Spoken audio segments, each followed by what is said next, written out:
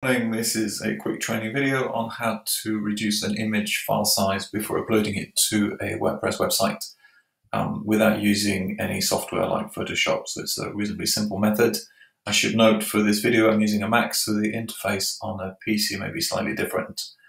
Um, so let's get started. I'm, I'm using uh, the website from uh, one of my lovely clients, Sherry Hostler. As an example, we have an image here, which um, is quite small on the website. Uh, I know it's 300 by 200 on the website, but it's actually been uploaded at full size, um, which is taking a lot of space. To show you, here's the file um, that was uploaded to the site. You can see it's a 2.8 megabyte image, which isn't really ideal. Um, and uh, we really want images on websites to be very small, less than 100 kilobyte, um, if at all possible. So let me now show you how to change that image.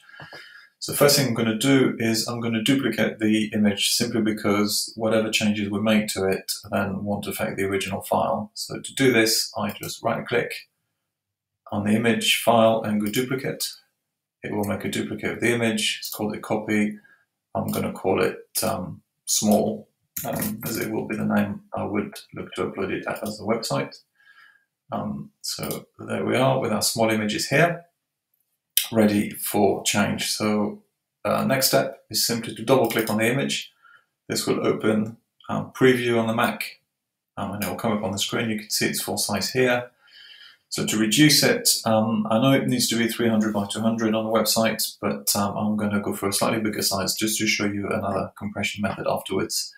So simply go to Tools, and in the Tools menu on Preview, adjust size. As you click, you will get a dialog box.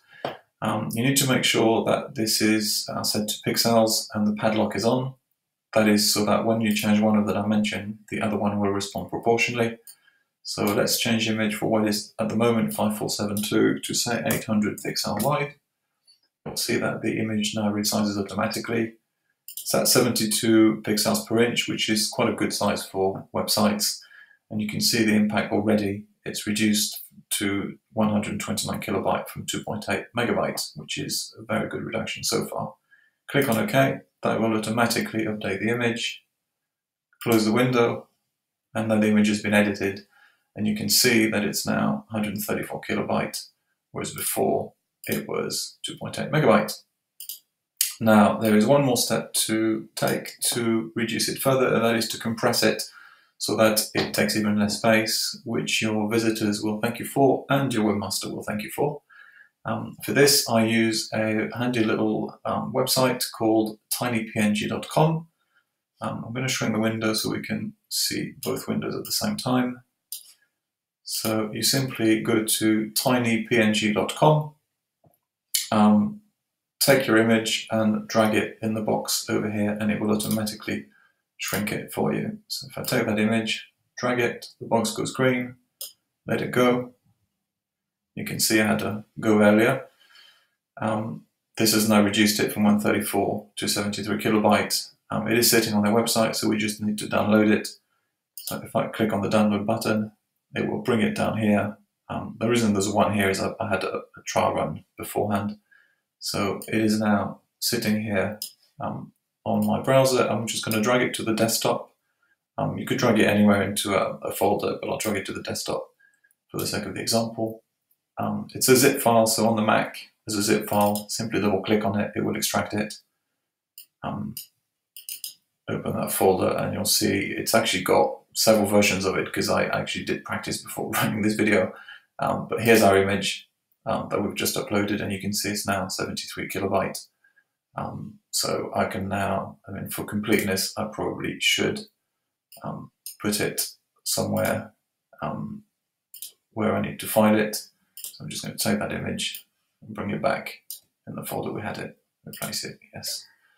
Um, and there you go. We have now have a small version at 73 kilobyte, and we've kept our original at 2.8 megabyte. This now means we can upload this to the website and have a much smaller um, image uh, it's particularly important because most um, uh, WordPress themes will automatically create more than one image size on upload, so it will um, multiply the size of your files quite quickly if you don't upload small images. That's it. I hope you've enjoyed it. I hope you find it useful. This was my first video, so I hope the next few will be slightly less rubbish than this one. Thank you for watching, and I will now stop the video if I can find the window again.